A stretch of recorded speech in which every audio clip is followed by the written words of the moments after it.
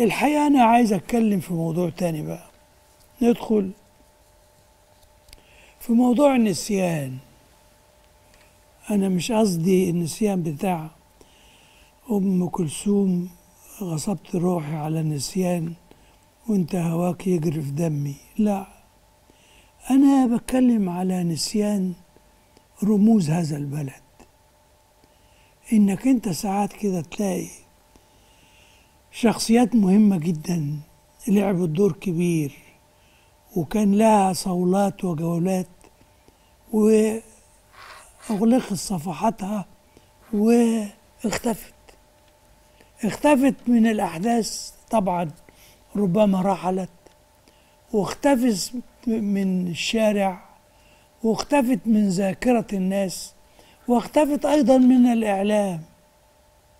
ولذلك تلاحظوا الفترة الأخيرة دي إن أنا مركز على بعض الرموز اللي بتكلم عنها بفكر الناس بيها يا هل معقول أفكر الناس بأم كلثوم؟ هل معقول أفكر الناس بمحمد عبد الوهاب عبد الوهاب ولا الصنباطي؟ يعني إذا كان لاعيبة الكرة القدام عايشين في خيال المصريين زي الكرنك وزي أبو أبو الهول والهرم.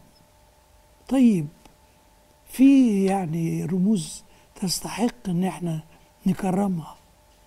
أنا على فكرة ما بسمعش أم كلثوم على القنوات المصرية إلا قليلا.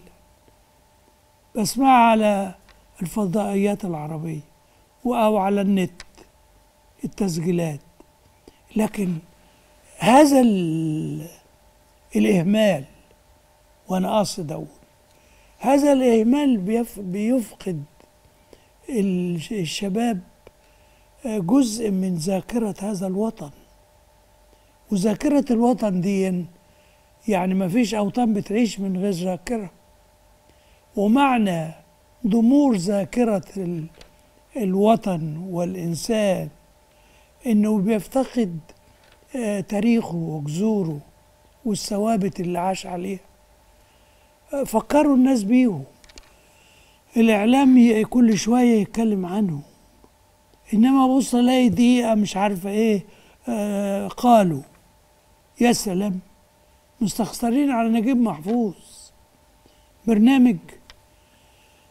عم حاطين له كده كلمتين قال نجيب محفوظ ولا قال أحمد شوقي؟ لا. وبعدين إحنا دولة عريقة يا جماعة والله.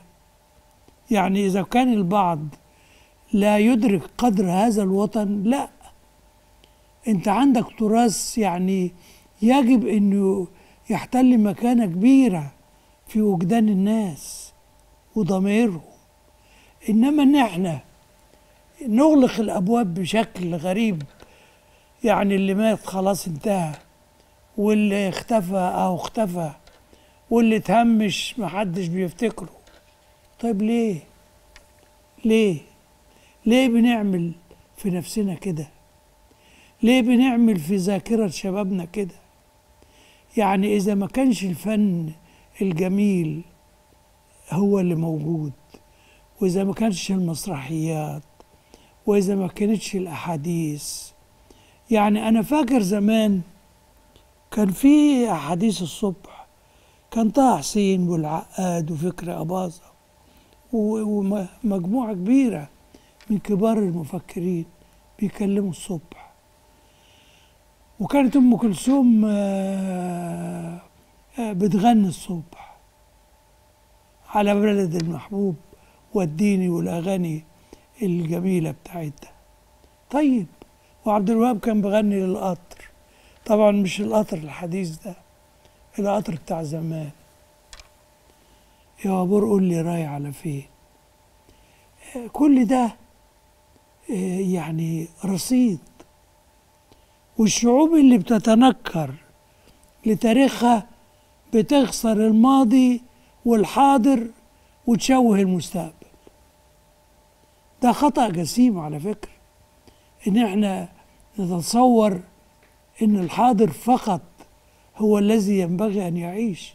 لا مش الحاضر بس الماضي أيضا في ذكريات كتيرة عزيزة وفي رموز كبيرة يجب إن إحنا نعيش معاها